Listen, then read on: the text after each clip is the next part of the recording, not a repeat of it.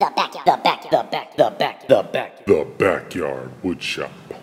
Today, I'm here trying to show you guys how to save some money with a shop-made corner Clamp It jig. This one is fashioned after the commercial version from Rockler. Theirs is a great design, so I thought, why not make a shop-made version? To get started, we're going to need a piece of wood. Off camera, I went ahead and cut this to size. It's 13 inches long by 7.5 inches wide.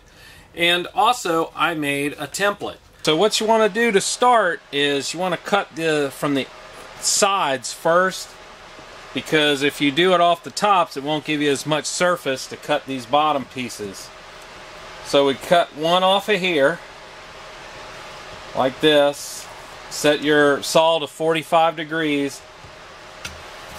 And we're just going to make a cut.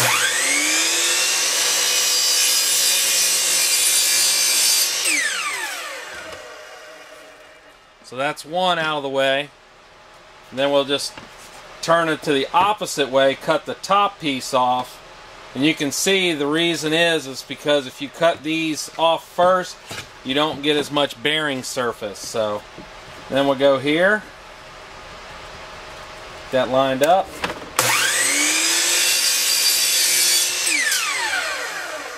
You can see why you can see why having the template really is nice. And then just uh, continue on around the board from there.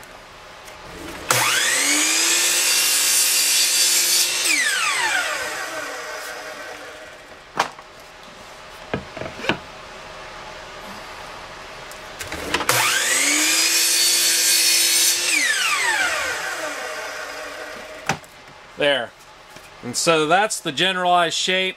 Uh, down here I just cut it out with a bandsaw. This is just a clearance area. So the next step uh, I did off camera is we need to glue up some uh, three quarter inch material into inch and a half material.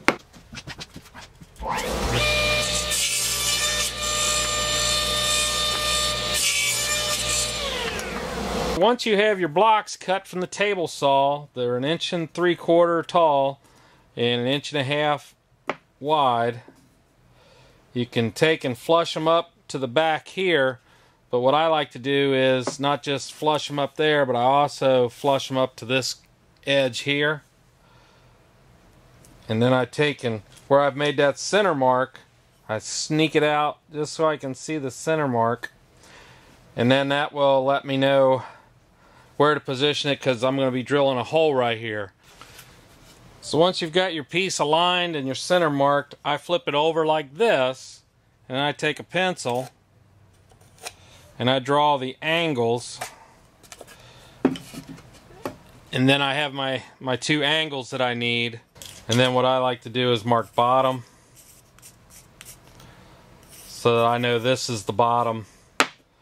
That's and that see how that just helped me line that back up? I've got the Shopsmith set up in drill press mode.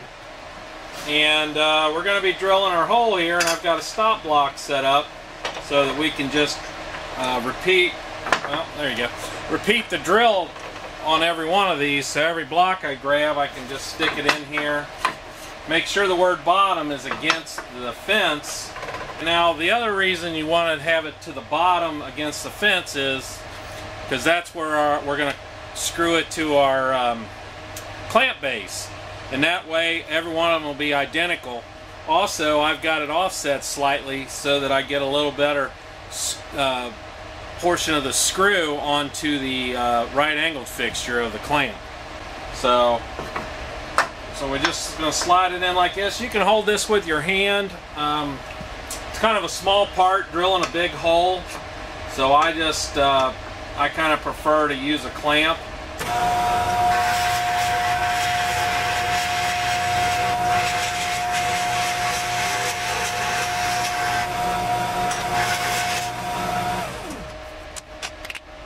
My two blocks with the holes drilled in them.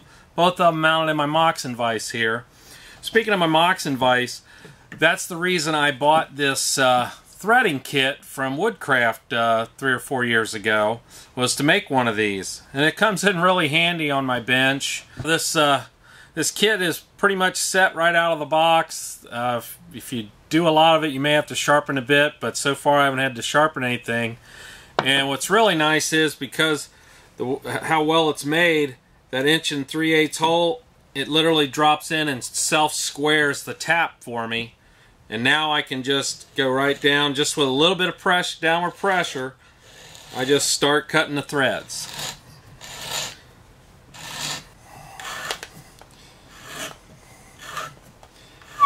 And then once you get all the way through, you can either back it all the way out or you can just thread it all the way through. Then there's a little screw on top here.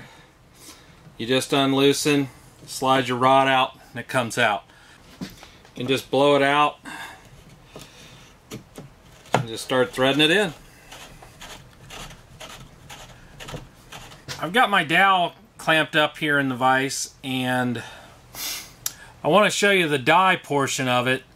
Basically it's an inch and a half clean hole here and then it goes to a cutter which then goes into metal threads that chase the cutter and the cutter uh, makes it so that the, the dowel fits into these metal threads and then they in turn just let you keep threading it all the way down.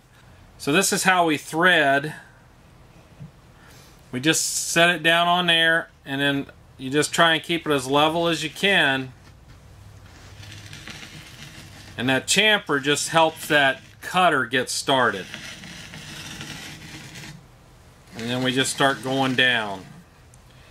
Now when it comes to the the dowel itself, poplar works pretty well, but I've noticed that the poplar needs to be more of a green color. And if it's green, then it works really well at holding the threads nice and solid. Uh, the wider it is, it seems like you get a little more breakout. I'll just uh, go that far for now. And you can just keep threading it all the way down, which is what I would recommend, is you thread a lot of the rod. And then uh, what I do is I just keep this from the last time when I was making this vise itself. And you can just make make a nut basically or a handle and you can uh, make your screw portion. Let me pull that out. The greenwood makes a really nice clean thread. One of the things I do find that to make the thread work a little better is to just sand down the points a little bit with some sandpaper like that. And it seems like the it, it's easier to turn in and out a lot, which is what I did with my Moxon vise, and it it is just smooth as silk. Doesn't squeak either.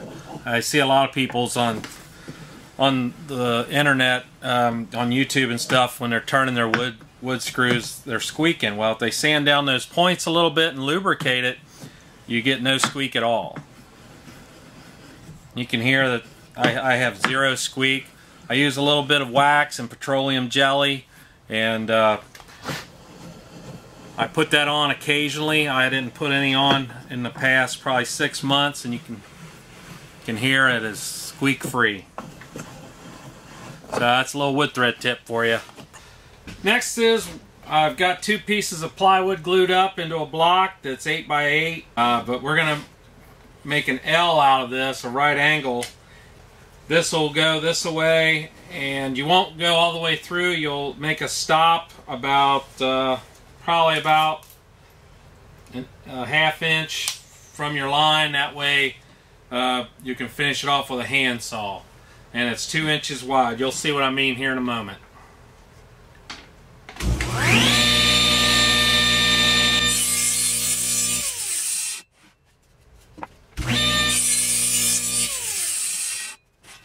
Once you got your right angle uh, cut with the table saw, you're just going to finish it off with a uh, hand saw.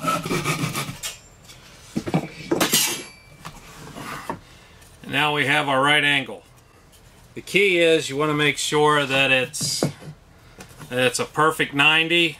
There's one more thing you need to do with the miter saw, and that is trim the back corner off of your uh, right angle piece because that will give you a little extra clearance for when two pieces are being joined together. Um, just in case the inside corner isn't dead perfect, which it should be, but it may not be. This just gives you a little extra clearance. And I'm just taking off a quarter inch from the point. So you can just measure a quarter inch, set your saw to 45 degrees, and you're ready to go.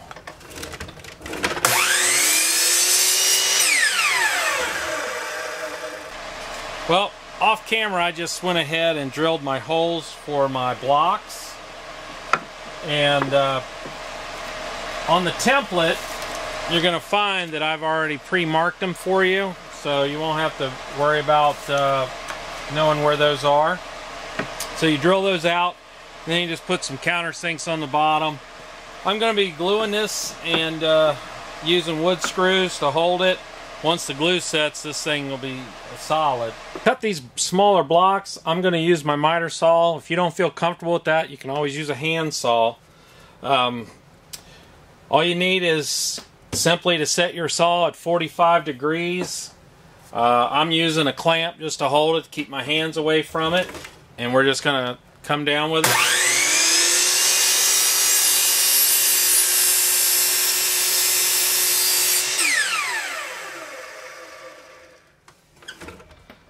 So that's how we do that. And then the small portion, you just flip it and cut it, you know, wherever you marked your line for, all the cuts are 45 degrees wherever you marked your line.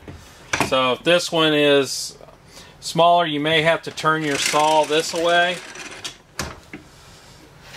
And then uh, you can still do the inside cut like this, but you'll take my clamp and I'm going to put it to the back side here. And the nice thing about the Hitachi is I have a laser which uh, makes it easy for me to line up my cuts especially on angles. So once I see that I've got it, make sure I've got clearance, and I do.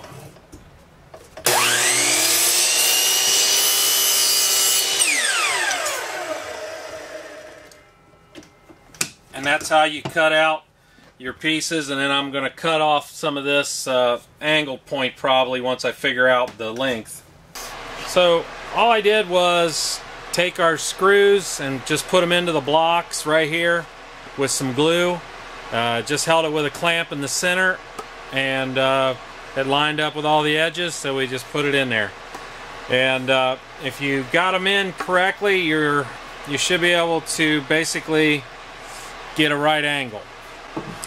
Now as far as the right angle portion of it you can either apply it screws through the top down or like I'm going to do to make it just look a little nicer I'm coming in from the bottom and I just went ahead and pre-drilled some screws. So next we're going to just apply some glue. Just got to pick which side you think looks best. I think this will be the bottom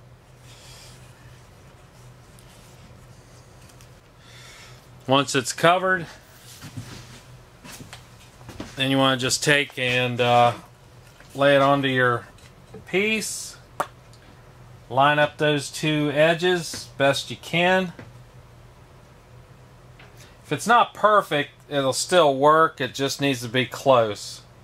Because what's really making the difference is the right angled piece itself.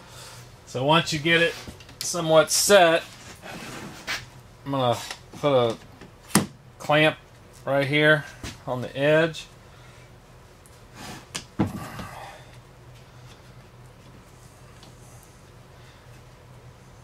Just till we can get a couple screws in it.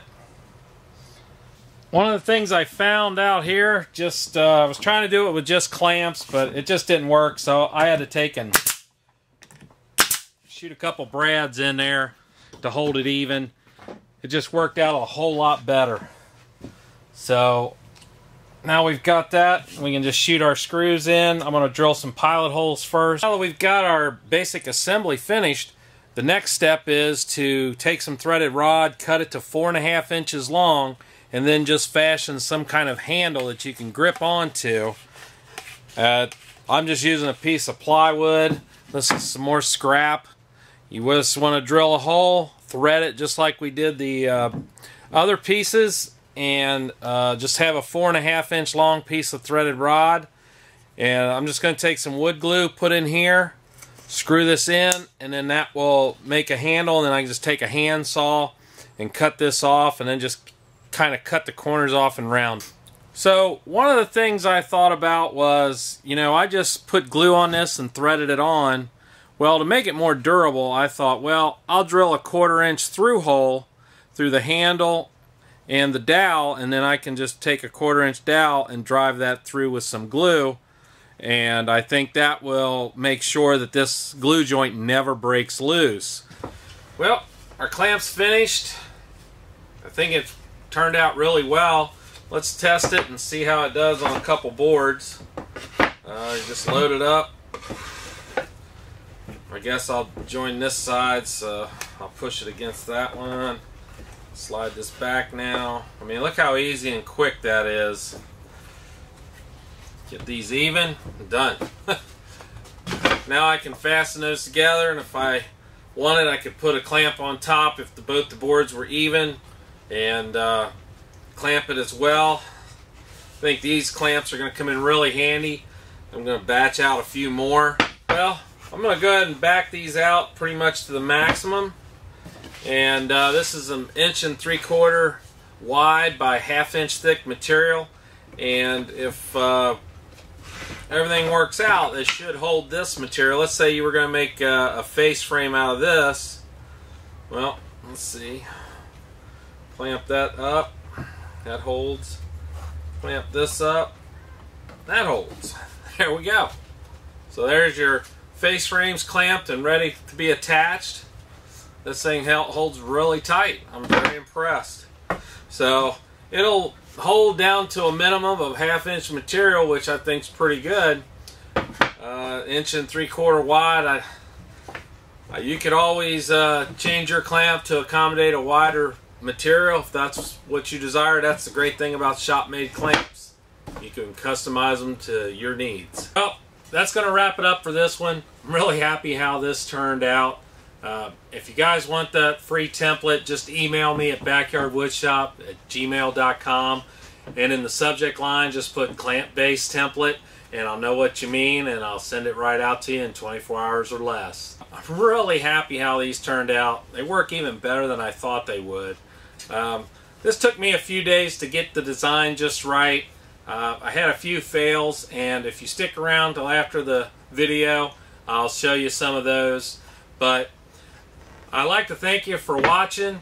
Uh, if you're new to my channel, please hit that subscribe button. If you enjoyed this video, hit the like button. And until the next time, I see you in the backyard.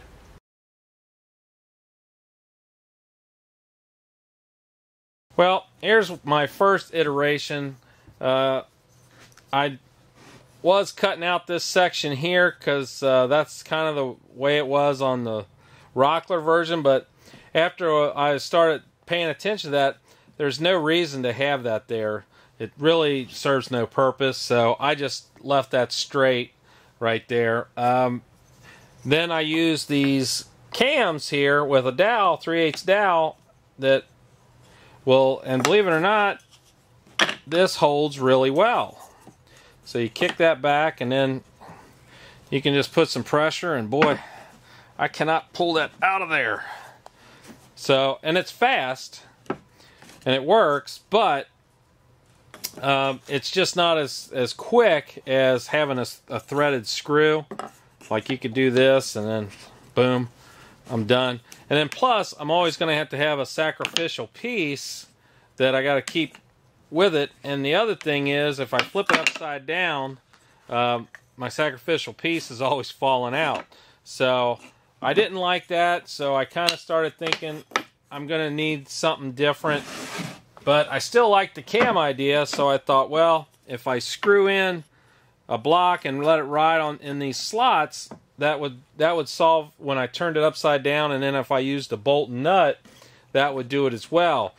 Well, I'm still running into the issue of how much material I can clamp. See, I can't reach it there. Here I can. So I would need a series of holes, and I'd constantly moving this anyway. So I thought this is just a poor design on my part. You can see there's that cutout I decided not to cut out anymore. It it has no uh, bearing on this. It's just an aesthetic thing, and I said it didn't need to be. Um, so I, it just was a fail, I think overall. It does work. You you get plenty of strength, but see that see that wood moving? That was another issue. I thought. I said, well, you know what? Every time I go to clamp, the wood's wanting to move. That's not good.